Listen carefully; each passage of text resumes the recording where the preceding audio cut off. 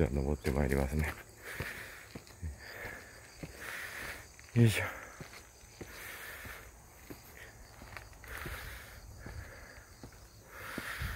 はい。本日はね、令和4年10月の3日月曜日です。はい、えー、なんか書いてありますね。壊れてるんで注意してください。イノシシが道を。やばいとこですね。イノシシ出るみたいですよ。かなりしんどいですね。あ、ほんまですね。気が朽ちてますよ。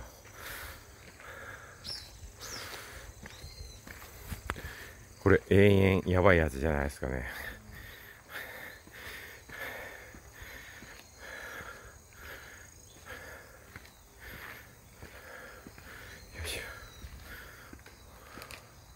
はい、えー、滝林ですね。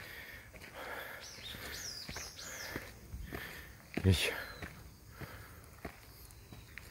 ょ。はい、本日はね、えー、小豆島の、えー、福田港の近くですかね。えー、よいしょ。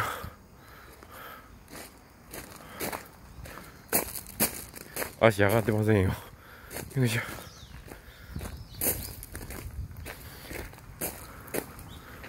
なんか岩らしきものが見えてきましたよ。よいしょ。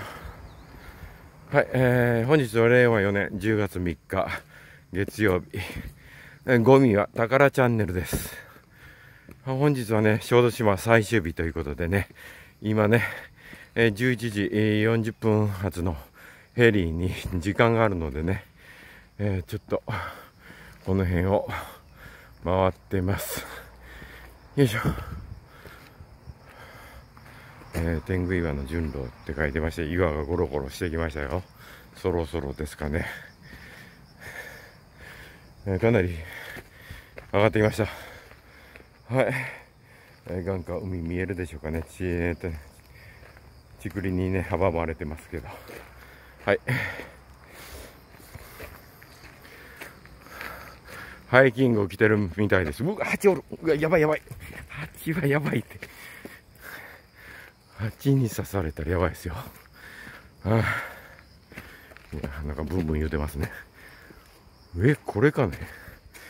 はい、えー、天狗岩って書いてあるね。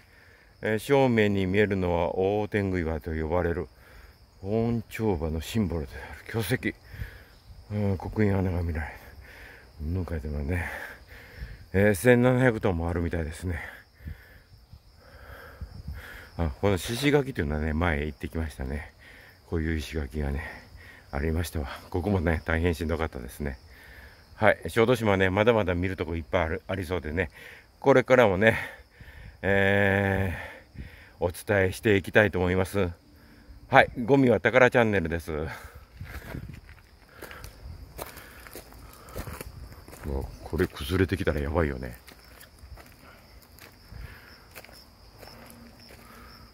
収まりきれませんよ。うわ、うわ、すごいね。